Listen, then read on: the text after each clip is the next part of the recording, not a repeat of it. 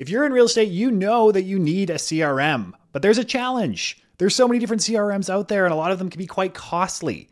So, we have built a CRM for you all within Notion. Now, if you're not familiar with Notion, you can just go to notion.so and download Notion. Now, this is a fantastic tool with a ton of different things that you can do in order to organize your business. But today, what we're looking at is specifically the real estate CRM. So, let's dive into it and have a look at how we can use it. So, first off, when we get into the CRM, the first thing you're going to need to do is come up to the top right and press duplicate. This is going to move it over into your own Notion workspace, and then you can use it, adapt it, change it however you see fit. Coming down here, there's some information on how to actually duplicate it. It's pretty straightforward. All you have to do is come up here and press duplicate. Then coming down here, this is going to be very important. So these are the stages that we'll all be using. Now, these are tied to the Rev Real Estate School stages. That being said, you can change these for your own business, but these tend to work quite well. So we have lead stages, we have active stages, we have SOI stages, and we have additional stages. So coming down here, let's break these down a little bit more detail. First off, we have the lead. So the lead is somebody who we haven't had a two way conversation with. So at this point in time, we actually haven't had a conversation or a back and forth over email. And so we're not actually going to have any automated follow ups here. Instead, we just have to stay on top of these people. This is going to make more sense when we get actually into the CRM. Then we have warm. So these are people that may be thinking of moving probably within the next year or so, or people that we think may be moving within the next year or so. And we're going to be automated to follow up with them every 30 days. Then we have hot. These people are looking to buy or sell within the next probably six months. And that we're going to be reminded to follow up with them every seven days.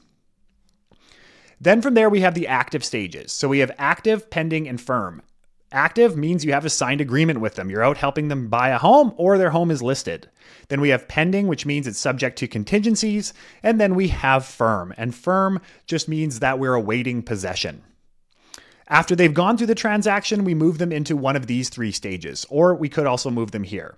So these three stages are what we call the SOI stages. Now, we focus a lot on SOI because of the value of this particular category. So we've segmented these people into three different groups. We have our super connectors and friends. These are people we want to stay in touch with regularly. So we're going to be reminded to follow up with them every 60 days. We have SOIA. So these are people that aren't necessarily looking to transact, but we want to have a good relationship with them. We're going to be reminded every 90 days. And then we have those who we still really like and we want to stay in touch with, but we're just realistically not going to stay in touch with them every 90 days. Then we have the SOIB, which is 180 days. Now we have on our additional stages, we have support. So this could be your lenders, this could be your home inspectors, this could be your attorneys, anything that helps support your business. They're all going to go here. And we are going to be reminded to follow up with them every 180 days because, of course, they can be a great source of referrals too. Then we have archive. So these are people that we would work with again if they reached out, but realistically, we're just not going to stay in touch in a one to one capacity. We move them into the archive. And then we have dead. These are people that we do not want to work with again. So we just kind of want to drop them here and then forget about them. That's the dead stage. So we're going to have to know this as we move into the CRM. So those are our main stages. We are going to have to keep those in mind, but of course we also have this resource for us to double check to see where we want to put somebody. Moving along, coming down here, we have notes. So, notes come in two different formats. Number one is you just had a meeting with somebody and there's no real action, or there's a meeting with somebody where there is action required. So, let's say that there's no action required. I can just press new note here, open the page up by pressing right here, and then from within here, I can go new note. And we can associate this to a given contact, and we'll show you where the contacts are, and we can add a date to it. Now, let's say that you added this note added a note and you assigned it to a certain contact that you're working with. There you go. And we have the date is going to be, there we go. Now, from here, we're going to see it show up in our no action list. But if that was to change and we needed to move it, we can just move it over to action needed. And this is just segmented so that we can easily go and see where we need action to be done. Coming down here, we have our active and pending clients. So specifically, these are the people that we're going to have to stay in touch with on a regular basis. They either have signed agreements or it is subject to contingency. So we're going to have to stay in touch with them. So we want a very, very easy view just to see who we have in our active file and who we have in our pending file. That's here for us. Now, as we're coming down here, we have all of our contacts. Okay, so here are all of our contacts. And what you're going to notice here is there's a number of different fields. We're going to go through a few of them, but we're not going to go through all of them. So first off, we have our contact name. So if we wanted to add a new person, we're going to add the new person. Let's say Joe Buyer. There we go. And then we're going to open Joe up right here.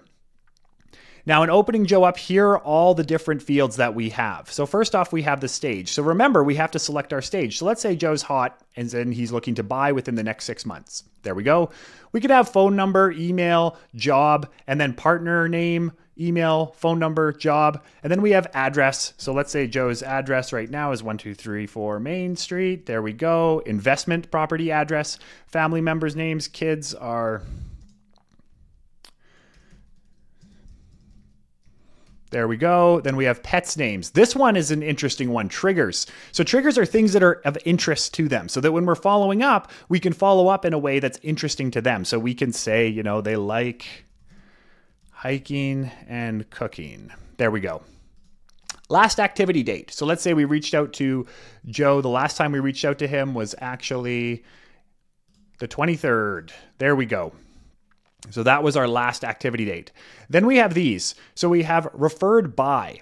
So let's say that Joe was referred by Michael. There we go. So now this is going to track for us who referred who. And then you're also going to see here that there's a referred. So if he referred somebody, so let's say he referred over here Ryan Reynolds. There we go. And now within Ryan Reynolds, we're also going to see that it has been connected between the two. And then we have notes. So let's say that we have a note here and this note that we had related to him. There we go. Now it's related back to that. And then we can also add potential GCI. So if there's a GCI of 10,000, we can put that there. Now we have this follow up. We do not have to do anything for this. Okay, so let's go back to our main sheet right here. We have Joe Buyer, and coming along here, it says follow up. Now, why does it say that? It says that because if we look here, he's in the hot stage. So if we come back up here and we look under the hot stage, our automation is every seven days. So coming down here, the last time we spoke to him was over seven days ago. Therefore, it's going to say follow up. If instead we wanted, we reached out to him yesterday, we're going to do this, and then it's going to be blank. So there's no action. So depending on the stage and depending on our last activity date, it's going to tell us to either follow up or not. Very, very handy. Very handy for us. And then you can also, of course, click into Joe and come down here and add new contact. And then writing in here, we can write down any notes that we'd like about him as he's going through the process, maybe showings that we've done, likes that he has with homes, likes that he, or dislikes that he has with homes, whatever we'd like, we can just put in right here. Okay, coming down here, we have all of our contacts, but now it's viewed in a pipeline form. So for example, we have Joe Buyer here. Joe could have started as a lead and then he moved into warm and then he moved into hot. Whoops. Make sure he's in there, moved into hot. And then he signs a buyer agreement. And then he buys a house. And then he's waiting possession. And then after possession has occurred, we decided, you know what? We want to stay in close contact with Joe. So we're going to move him into SOIA. There we go. And then coming along here, we have support, archive, and dead, of course, as well. So if you ever don't see anything, you can just press more on the side, just like I did there, and you're going to extend it. And then coming down here, we have a calendar view for you as well. So all of this is a way that you can stay in touch with your clients and do so in a way that just keeps everything visual as well as very, very cost effective. So if you don't have a CRM, this is a fantastic tool for you. There's a lot of different CRMs within Notion and there's different templates out there, but this one is specifically for real estate agents. Hope you enjoy it.